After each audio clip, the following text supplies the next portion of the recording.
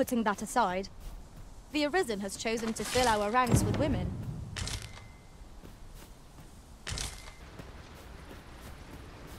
Mayhap you will think this a trifle, but ours is a party of women, by and large. And yet, no two of us are the same.